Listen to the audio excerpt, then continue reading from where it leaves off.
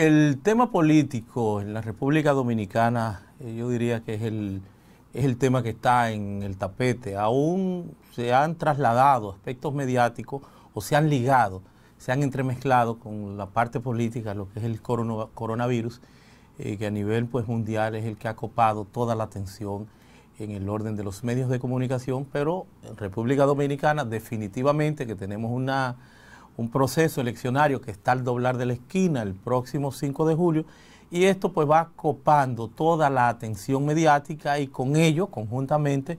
eh, pues con el propio coronavirus. Y hay entonces alrededor de todo esto diversos cuestionamientos, eh, son innúmeros los cuestionamientos que se hacen. Eh, vimos que recientemente, hace algunos días, el Partido Revolucionario Moderno pues llevara una, un cuestionamiento, una especie de querella a la Junta Central Electoral eh, sobre las violaciones a la ley 41-08 de función pública y haciendo el planteamiento de que los funcionarios pues tienen que apartarse, tienen que renunciar. Vimos en un momento como incluso para una precandidatura, ni siquiera candidatura, eh, Navarro, eh, quien en ese entonces era pues el ministro de, Educación, pues renunciara, pero eso lo hizo él en atención eh, a, a, su criterio, a su sentir, pero no porque la ley lo hiciera mandatorio. La ley 41-08, el aspecto que considera es que no se puede perseguir a una persona porque esté, sea contrario, aun cuando sea de carrera o esté en función pública, o sea, debe tener la libertad, la posibilidad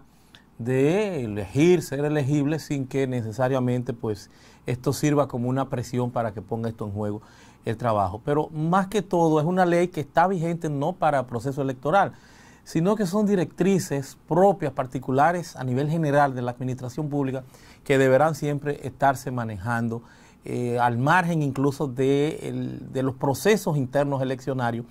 y que se dan en la República Dominicana, como ha sido pues el municipal, el presidencial y congresual ahora,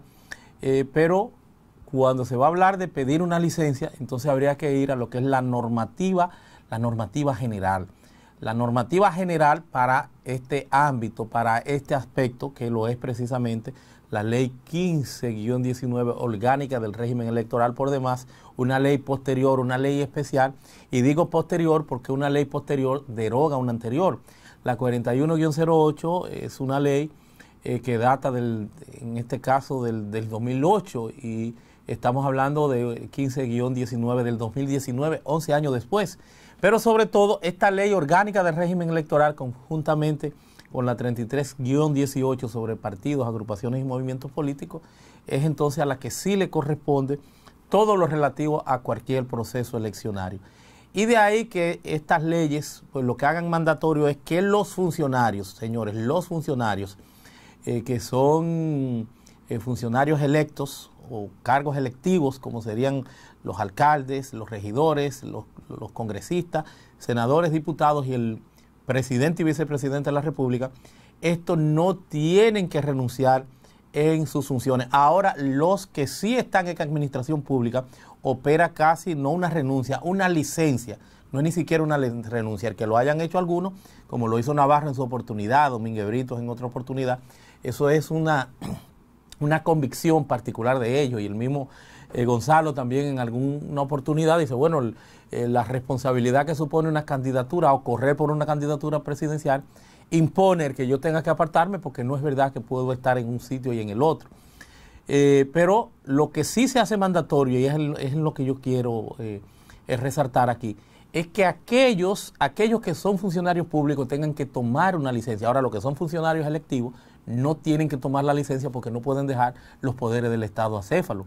Tú tienes que trabajar en el día a día del Congreso Nacional, en ese día a día que supone no solamente la aprobación de leyes urgentes, eh, préstamos, el estado de emergencia, un sinnúmero de aspectos que hay que considerar y trabajar. Entonces esa gente no pueden, porque son funciones irrenunciables, indelegables, esa gente no pueden apartarse de esa realidad.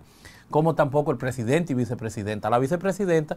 se le hace el cuestionamiento, tampoco puede tomar licencia. Pudieran cuestionar si quieren decir, bueno, tiene alguna función en el orden administrativo que pueda chocar, eso sí pudiera la Junta considerarlo, verificarlo. Pero quiero decir esto porque también veo que es muy socorrido y es una parte importante ahora la que voy a, plantear, el que personas que están cuestionadas estén corriendo en el, en el ruedo político, incluso que tienen problemas pendientes con la justicia. Pues yo tengo que decirle a ustedes que en términos de la constitución de la República hay una verdad interina que se llama presunción de inocencia y que todas esas personas que tienen cuestionamiento ante la justicia están soportados, están abrigados, están cobijados por esa verdad interina, que hasta tanto no medie, hasta tanto no opere una sentencia con autoridad de cosas juzgadas, para fines y efectos de la ley, esas personas son inocentes. Y como tales hay que tratarlo. Entonces poco importa que alguien tenga un problema en la justicia, porque una candidatura no es que te han dado un cargo. En definitiva, a quien le corresponde refrendar eso, de ese derecho que tú tienes, de esa posibilidad de ser elegible y, elegir, es al elector, es al ciudadano, es al dominicano. Entonces esos cuestionamientos eh, de si una persona tiene algún aspecto que esté reñido, algún cuestionamiento, eso es lo que responde internamente en el orden disciplinario del partido. Y si el partido entiende, estima que no te debe tener, bueno, pues el partido simplemente coge y te retira o no te permite, a partir de sus reglamentos internos, que tú ostentes la candidatura. Pero también eso tiene que darse en un margen de mucho cuidado, porque todo el mundo tiene derecho a, ir a ese escrutinio público en que se convierten los procesos eleccionarios para que decida en definitiva el pueblo si te elige o no. Recuerden ustedes que hasta los presos tienen, eh, tienen esos derechos, hasta los presos preventivos y más aún son muchos los casos donde personas en las cárceles incluso son seleccionados, ni siquiera como candidatos, son seleccionados a cargos a nivel de todo el mundo, eso se ve, a cargos y aquí mismo en República Dominicana hay personas que estando presos han ganado elecciones. Entonces, esos cuestionamientos a quien le corresponde es al adversario, porque son cosas ya de, tipo moral, plantearlo, sacarlo al partido, y que el elector tiene derecho a conocer el prontuario o los cuestionamientos que tenga cualquier otra persona para ver si vota o no vota. Pero de ahí a que eso puede invalidar una candidatura, en modo alguno, porque eso rompería con el hilo, con la estructura, con la esencia y espíritu, señores, no solamente de nuestras leyes, sino de la ley más grande que tenemos de todas, que es la Constitución eh, dominicana. Bueno, es más bien los comentarios que yo quería compartir con ustedes y será hasta una próxima oportunidad.